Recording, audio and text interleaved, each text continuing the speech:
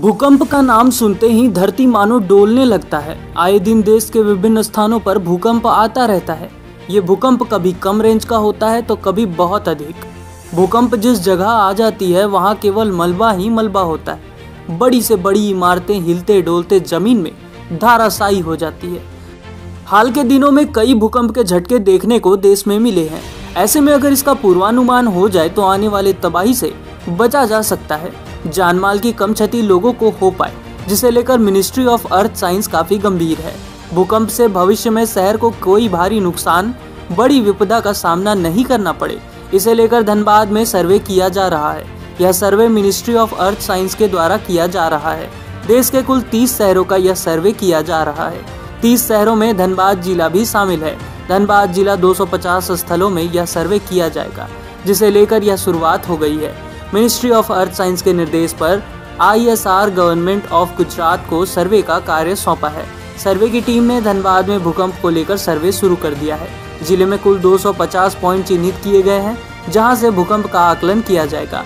Team अपने साथ कई मशीन लेकर पहुँची है। एक पॉइंट की जाँच में करीब ढाई घंटे का समय लग रहा है। संभावना जताई जा रही है कि सर्वे का कार्य पूरा होने में एक महीने का समय लग सकता है। आईएसआर की टीम में शामिल संदीप प्रजापति ने बताया कि केंद्र सरकार की पृथ्वी विज्ञान मंत्रालय के द्वारा आईएसआर गुजरात गवर्नमेंट को सर्वे का प्रोजेक्ट सौंपा है। सर्वे के 30 शहरों का चयनित किया गया है, जिसमें धनबाद भी शामिल है।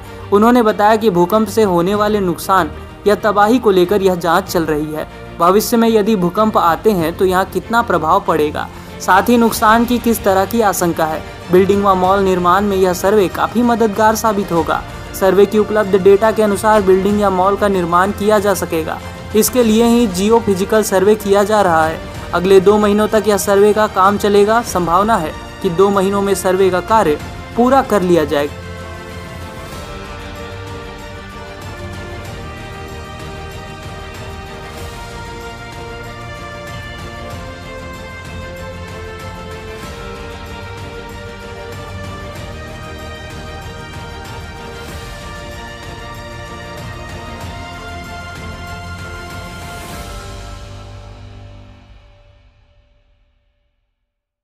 ये एक्चुअली भूकंप रिलेटेड सर्वे हो रहा है। वो पृथ्वी विज्ञान मंत्रालय सेंट्रल गवर्नमेंट का डिपार्टमेंट है। उन्होंने हमें आईएसआर गवर्नमेंट ऑफ़ गुजरात इनको प्रोजेक्ट दिया हुआ है। ये तीस शहर मतलब सिलेक्टेड है।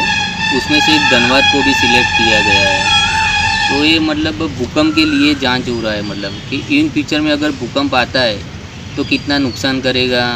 मतलब किसी जगह बिल्डिंग्स बनाना है तो मतलब वो ये डेटा उसमें हेल्प करेगा आपको।